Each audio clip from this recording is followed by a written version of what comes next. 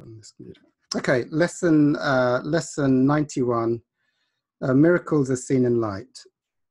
Uh, it is important to remember that miracles and vision necessarily go together.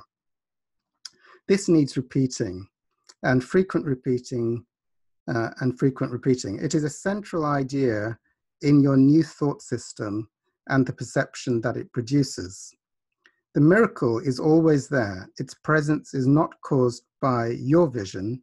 Its absence is not the result of your failure to see. It is only your awareness of miracles that is affected. You will uh, see them in the light.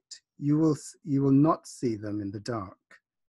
Mean, for me, uh, ego perception is when I'm sort of uh, hooked into my limited self, hooked into my thinking, my body, and I'm often vibrating at that limited consciousness. I could be vibrating at fear, anger, shame, or whatever it is.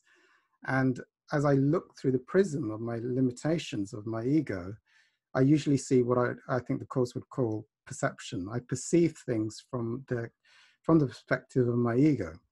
As I clear the ego by doing the Course of Miracles, i.e., the light of consciousness, the light of God, the light of the Holy Spirit starts to uh, come through. That's what I, I, would take as divine vision, uh, seeing things as they really are in truth without the obscuring filter of the ego getting in the way, which is uh, the miraculous. And then it opens you up to seeing uh, the miraculous unfold in the holy instant.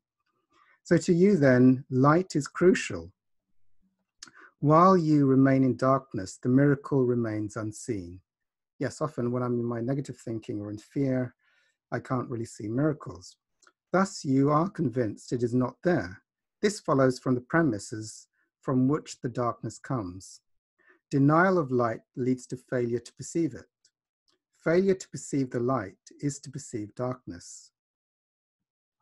I take that as if I don't do the spiritual work and try and let go of my blocks to, to the light, my blocks to the truth, my blocks to love by applying spiritual work to clear my ego, then um, that would be, that in a way, is denial of the light and wanting to remain in my ego perception.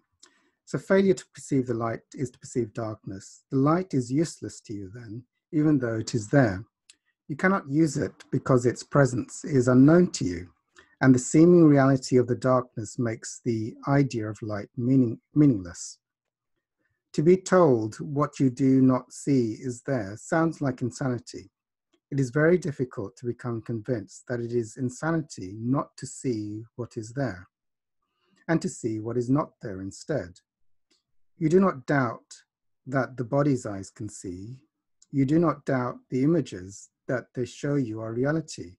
Your faith lies in the darkness, not the light, which is, um, which is true. When I'm in my ego thinking, and uh, latched onto my thoughts, uh, negative feelings, the body, and I'm and I believe that this is the real me looking on the world, then um, that is um, what I do see is often uh, dark and limited.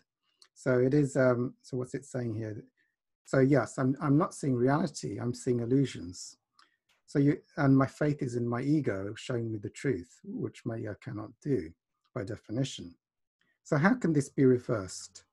For you, it is impossible, but you are not alone in this. Your efforts, however little they may be, have strong support. Did you but realize how great this strength, your doubts would vanish. Today, we'll devote ourselves to attempt to let you feel this strength. When you have felt the strength in you, which makes all miracles within, within your easy reach, you will not doubt. The miracles you, you, your sense of weakness hides will leap into your awareness as you feel the strength in you. Three times today, set aside about 10 minutes for a quiet time in which you try to leave your weakness behind. This is accomplished very simply. As you instruct yourself that you are not a body, faith goes to what you want, and you, you instruct your mind accordingly. So it's saying here, um, uh, this is come to very simply, uh, instruct yourself you're not a body.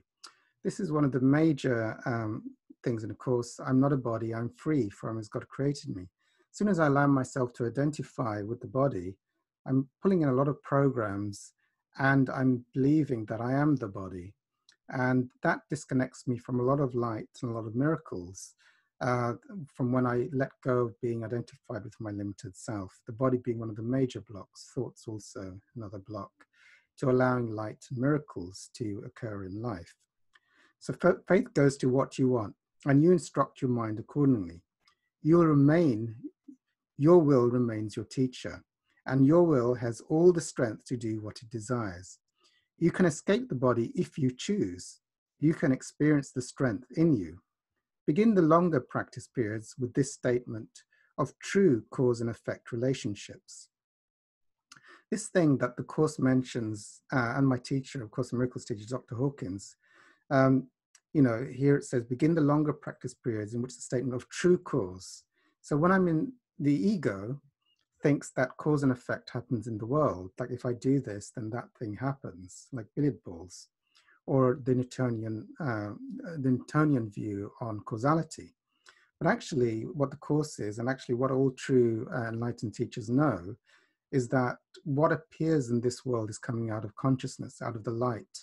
The light of God is the true power of which things uh, come into existence from the unmanifest world into the manifest world. When you're in the ego, you're looking for outside things, which the Course would call magical cures but um, when you let go of the idea of causality and magic, then um, you access the realm of, of, of light and the infinite realm, eh, which is the true source of miracles and from which uh, things emerge into this world. So miracles are seen in light. The body's eyes do not perceive the light. Yes, from the body, if I'm identified with my body and believing my eyesight is the truth, then um, that is not the truth. That is just perception from my uh, from my ego. Um, so miracles are seen like the body's eyes do not perceive the light.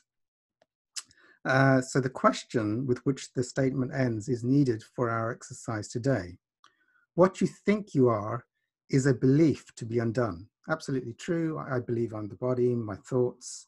Uh, I, I believe all the programming I've had in this lifetime. So it's all to be undone but what you really are must be revealed to you. So it's only when I let go of all my false limiting beliefs that I can experience the truth of what I really am. So the belief you are a body calls for correction, being a mistake. the truth of what you are calls on the strength in you to bring to your awareness what the mistake conceals. If you are not a body, what are you? you need to be aware of what the Holy Spirit uses to replace the image of a body in your mind. You need to feel something to put your faith in. As you lift it from the body, as you lift it from the body, I'll repeat that again. You need to feel something to put your faith in as you lift it from the body. You need a real experience of something else, something more solid and more sure, more worthy of your faith and and rea- and and really there. If you're not a body, what are you? Ask this honestly. And when you devote several minutes to allowing your mistaken thoughts about your attributes to be corrected and their opposites to take their place, say, for example, I am not weak, but strong. I am not helpless, but all powerful. I am not limited, but unlimited. I, I am not doubtful, but certain. I am not an illusion, but a reality. I cannot see in darkness, but in light. In the second phase of the exercise period, try to experience these truths about yourself. Concentrate particularly on the experience of strength. Remember that all sense of weakness is associated with the belief you are a body, a belief that is mistaken and deserves no faith. Try to remove your faith from it, if only for a moment. You'll be accustomed to keeping faith with the more worthy in you as we go along. Relax for the rest of the practice period, confident that your efforts, however meager, are fully supported by the strength of God and, and all his thoughts. It is from them that your strength will come. It is through their strong support that you will feel the strength in you. They are united with you in this practice period, in which you share a purpose like their own Theirs is the light which you will see miracle, in which you will see miracles, because their strength is yours. Their strength becomes your eyes, that you may see. Five or six times an hour, at reasonably regular intervals, remind yourself that miracles are seen in light. Also be sure to meet temptation with today's idea. This form would be helpful for this special purpose.